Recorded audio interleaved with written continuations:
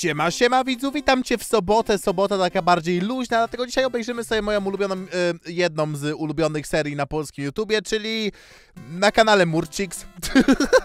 tak dziwnie mi to przyznawać, ale ona raz na jakiś czas wrzuca takie, że u szociki albo ploteczki, coś takiego i to jest naprawdę fajne i interesujące i mam wrażenie, że coraz więcej się dowiadujemy o ekipie dzięki temu wszystkiemu, więc zobaczymy, czy tym razem też się tak wydarzy, czy nie. Tytuł to jest co naprawdę łączyło Kubę i Fagatę, no i jest to z Nowaczkiewiczem, więc jakoś mega wielkich oczekiwań nie mam, aczkolwiek wydaje mi się, że Kuba Nowaczkiewicz prędzej mega jakieś dobre pytania zada ta- Tak obstawiam. Mam nadzieję, że tym razem moje pytania będą mocniejsze niż zazwyczaj i że Zebo jak będzie oglądał ten odcinek, to nie będzie zawiedziony, bo on zawsze mówi, że mam beznadziejne pytania.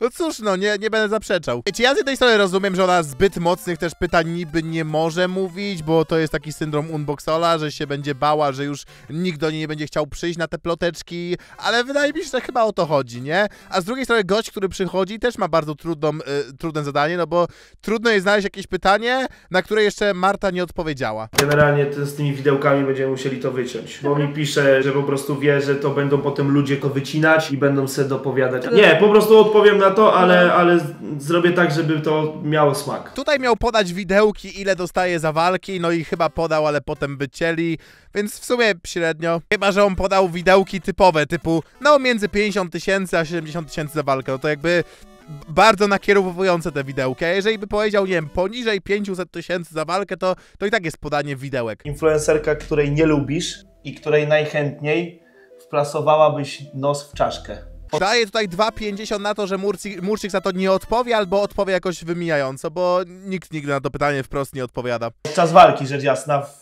w klatce. Kurde, ja zazwyczaj odpowiadam na to tak dyplomatycznie, Tak, tak, no nie tam, się, ale nie? tak szczerze, no wiadomo, każdy ma jakieś osoby, które, za którymi nie przepada. Mnie teraz kto tak irytuje na polskim interesie? No wiem, no fagata, fagata. No to, to, to jest za łatwe. Jakbym to powiedział, to, to jest jakbym nic nie powiedział. Na pewno kiedyś mnie Gimper irytował, bo był taki bardzo sztuczny i tak dalej. Teraz wręcz bym powiedział, że przeciwnie, nawet y, lubię go. Ale Rewo, Rewo mnie irytuje, bo on se robi przerwy raz na jakiś czas, dwu, trzy tygodniowe i nagle znika po prostu, tak bez słowa. Nie mam osoby, która mi coś jakby tak stricte zrobiła, ale są takie osoby, które mnie strasznie jakoś tiltują. No, jak, no, na- no. jak na nie patrzę, to po prostu... Jeżeli ona teraz to wszystko mówi, żeby nie powiedzieć konkretnej ksywy albo ją zacenzurować jakoś, to się wkurzę na Murcix. Murcix zostanie dodana do tej listy osób, które mnie irytują. Strasznie mnie denerwują, tylko czekaj, którą wybrać? No to Kinga Banaś. Mnie tak jakoś Tiltuje. drażni, no. O! Ła, łaku! Dobra, okej, opłacało się już oglądać. Murcix, odrobiłaś wszystkie te, te ploteczki i tak dalej. Bardzo mi się to podoba. Konkretna ksywa, być szczerym i tyle. To, to mi się podoba po prostu u youtuberów. A Kinga Banaś, hmm, ja, jak ja to mogę skomentować, że ją irytuje? Mm, em, jest dobrą przyjaciółką Patryka, więc jedyne co powiem to Victoria Better. Ale ja jestem tragiczny.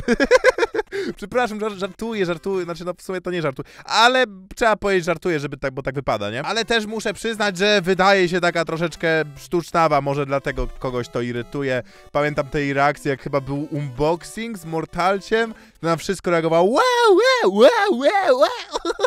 A to całe Gen Z tak ma po prostu wryte w banie, chyba, że muszą overreaktować na wszystko. I jej się może po prostu podczas tego odcinka, nie wiem, skrypty zbugowały czy coś, złe, zły skrypt nacisnęła. Okej, W sensie- czekaj, to jest ta To dziewczyna... jest ta, która jest teraz w ekipie i nagrywa z Mortalciem. Nie, Nie. zrobiła mi nigdy nic, nic jakby konkretnego.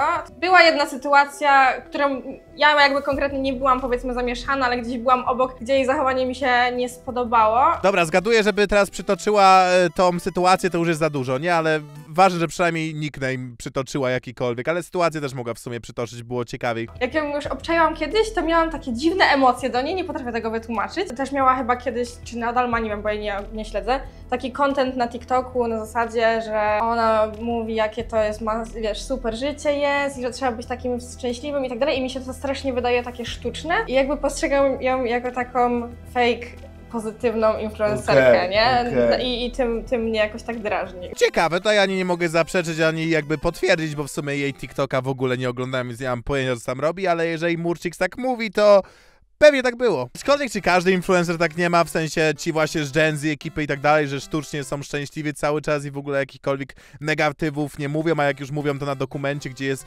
lekka ilość negatywów i ludzie od razu wow, wow, wow, ale negatywów. Pierwszy raz powiedziałam w internecie kogoś, kto mnie No ale to, je, to je- właśnie Jezu, aż mi się ciepło zrobiło. Spoko, jakby, no, do, dobrze wyraziła swoją opinię, nie? Jakby ka ka każdy ma prawo do tego, aby ktoś go irytował. Tym bardziej na internecie. Przykład mnie teraz irytuje ich mikrofon, że jest to bardzo niezbalansowane. Raz jest na poziomie tak 15 ich audio, a raz jest na minus 3, czyli bardzo wysoko. A te ich mikrofonki to chyba te, co właśnie wyglądają jak jakieś zegarki Bentena, że za chwilę klikną i się zamienią w takiego cz- czterorękowego potwora. Mimo tego, że mi na przykład bardzo się podoba jej charakter i jej bardzo wiem, że podoba się mój, no to gdzieś tam y, już jesteśmy w, w takim wieku, że zdajemy sobie sprawę, że pewne rzeczy mogą nam bardzo skomplikować y, życie i relacje, a mamy taką relację bardzo fajną. No jakby Tutaj wam dałem fragment tylko totalnie wycięty z kontekstu, on tutaj mówi o dziarmie, bo ludzie podejrzewali, że on jest dziarmą, da na wakacjach był z tą dziarmą, ale w sumie to mówi, że z tą dziarmą nie jest, jest to tylko jego dobra przyjaciółka, dobrze się dogadują, ale jakoś nie widzą bycia razem, no i w sumie tyle, tak wam to streściłem bardzo szybko. I mnie to tak kur... Ja nie rozumiem, jak można żerować na czyimś zerwaniu, że wiesz, że ogłaszasz zerwanie i nagle zlatują się po prostu sępy i do ciebie wypisują. Obrzydza mnie to i To jest trochę jak spot na orkach w Metinie, że jak się zwolni, no to każdy się zlatuje i nagle każdy chce tego spotu. Co ja mówię, przepraszam.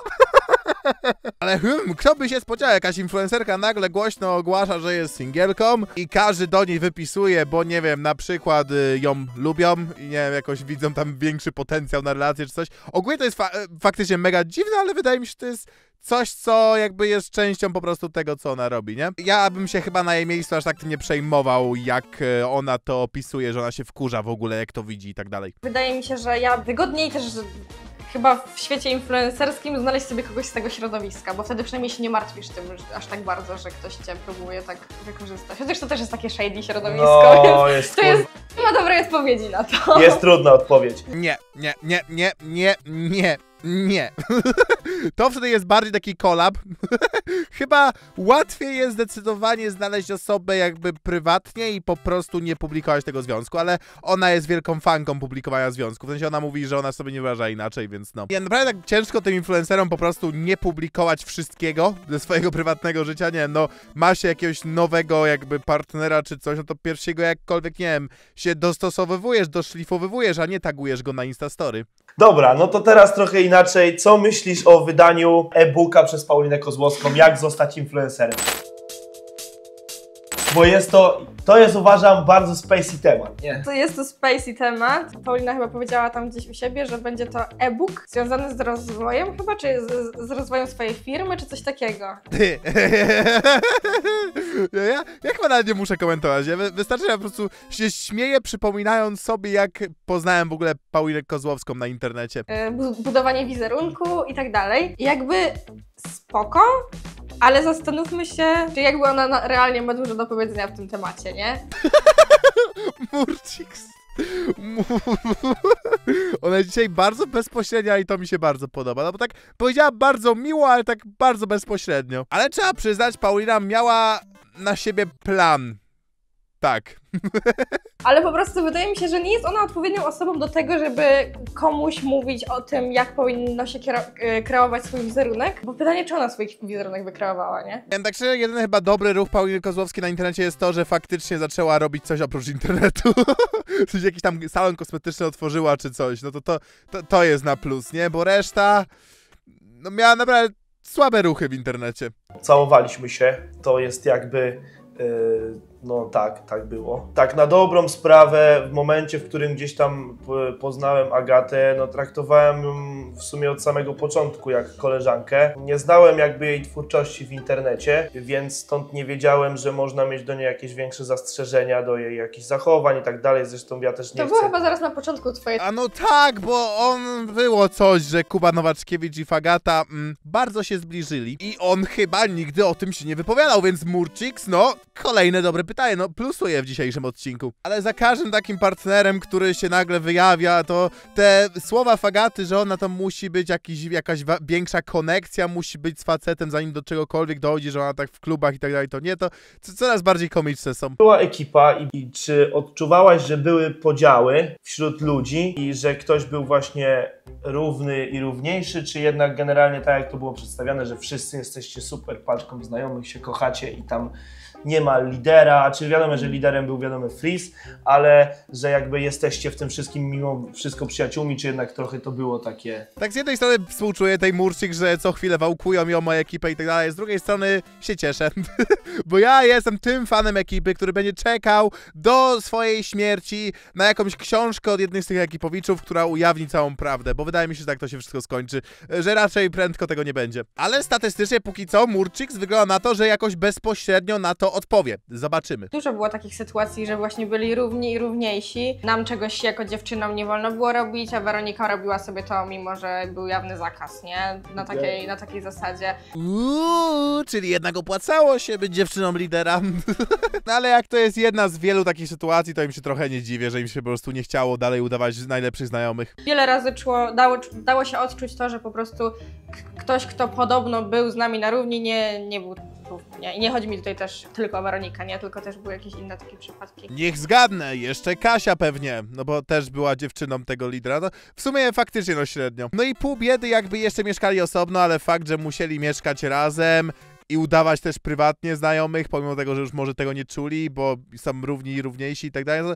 Trochę mogło to faktycznie wpłynąć na psychę, nie? Ale no muszę zadać to pytanie, mater czy mikser? Mater, w ogóle bez zastanowienia, Tak? no co ty? W każdym aspekcie? każdym aspekcie. Okej, no to szybko kur... poszło, nie zbierałem się do tego, próbowałem się przełamać mentalnie do tego. Nie? O nie, bo jakbym ja tam był na jego miejscu, to ja bym nawet nie miał psychy chyba jej, jej tego zapytać, więc faktycznie pod względem pytań Nowaczkiewicz jest dobrym gościem. Ale czy mnie dziwi, że wybrała Matera zamiast Miksera? No, Mikser na pewno jej dał całą jej karierę. Już przepraszam, no nie, no ale to chodzi o takie skutki, że wiecie, jakby nie była z Mikserem, to by nie znała Freeza, jakby nie znała Freeza, to by nie miała kariery, bla, bla, bla. To sobie żartuję. Ale wydaje mi się, że no dziwnie było jakby swojego naj, najbliższego ex-chłopaka nie wybierała jako lepszy, bo, bo dziwnie było jakby z gorszym była, jakby wiedziała o tym, że jest z gorszym, nie? Jakby raczej chyba tak się nie robi. Jak dużo za czasu ekipy tego wszystkiego było udawane, emocji na odcinkach, reakcji i tak dalej, i tak dalej, a jak e, w- dużo w tym było szczerości i prawdziwości. Myślę, że nie było za dużo udawania. Wydaje mi się, że udawania to może było tak z z 10%. Z jednej strony to jest jej chyba znajomy, nawet taki jakiś bliższy, ale z drugiej strony chce ją na minę ewidentnie dać, nie? Co chwilę tylko pytania o ekipie i ona tak się pewnie boi, że oj, oj, czy dostanę za to pozew, czy nie? Ciekawe ile ich NDA trwa, nie? Czyli jak ktoś widział twojego kota i mówił Ła, jaki kot dojeb... To No nie, było to no. takie? Nie no, wiadomo, że niektóre reakcje były jakby overreaktowane, ale na przykład jak były jakieś takie momenty wzruszające, gdzie ktoś płakał i tak dalej, no to to nigdy nie było udawane, nie? No to słabo, słabo. Już powinien e, tych pierwszych ekipowiczów wytrenować, żeby potrafili płakać na zawołanie, bo to jest podstawa aktorstwa. Reakcje były o wiele lepsze, wyświetlenia dzięki temu było o wiele lepsze, więc no pieniądze były o wiele lepsze, więc bez sensu, że w sumie nie płakać na zawołanie. Zgaduję, że to nawet był powód rozpadu ekipy. Nagle jak się zaczynał odcinek, no to Karol nagle zdobywał 200% energii. Siemanko widzowie, w odcinku coś tam, coś tam. Nie, to wydaje mi się, że to jest chyba normalne, nie? Ja, ja też jak, nie wiem, widzę jakiegoś znajomego, czy kogokolwiek, nie wiem, do pani kasjerki w Lidlu, jak mówię, to nie mówię siema, siema, tylko jest cześć. Albo dzień dobry. Po prostu wy widzowie powodujecie, że jakoś mam więcej energii. Też ostatnio ktoś tam pisał, że Trąba sobie zajebiście ogarnął maszynkę do robienia pieniędzy. Z tym, że Trąba ze mnie nie zarabia żadnych pieniędzy, między nami nie ma żadnych umów. To wszystko jest na zasadzie przyjacielskiej. Nie, drugi raz się nie da nabrać. Mówili tak samo o ekipie. A potem się okazało, że były jakieś umowy i tak dalej. A nie, no co do umów, no, no dziwnie by było jakby brał trąba procent, ale z drugiej strony bym rozumiał też jakby brał procent, nie? No bo jednak no stworzył karierę e, tego Nowaczkiewicza w internecie, no i to, to jest jakby no z tym po prostu to są fakty. Więc bardziej się w sumie dziwię temu, że trąba nie bierze procent rzekomo. Żałujesz tego, że twoja historia potoczyła się względem twojego byłego, już można powiedzieć, przyjaciela, kolegi, Karola, czy mimo wszystko dalej postąpiłabyś tak, jak postąpiłaś? W ogóle oni zaczęli generować takie duże zasięgi tak naprawdę jak nas zabrakło. No tak, no Bo tak, tak, tak, tak, tak, ludzie, tak. ludzie trochę stracili ten nasz content, więc oglądają teraz ich, bo lubili też nas oglądać, jak mi się przynajmniej wydaje. Tak, jak najbardziej. Lubili was oglądać, a w momencie, gdy wy, wy odeszliście od ekipy, ja myślałem tak szczerze, że wy odchodzicie, ale ma, macie jakikolwiek plan na siebie. A to wyglądało, jakbyście po prostu odeszli, bo się obraziliście i, i, i tyle, jakby bez większego planu, a powinien być jakiś tam plan, bo wiecie, ludzie was oglądali za to, że byliście ekipą. Większość ekipy odchodzi, to fajnie było, jakby ta ekipa dalej coś nagrywała, razem nie mogliście jakiś content house zrobić czy coś, ale nie zrobiliście tego i według mnie wykorzystaliście to bardzo źle.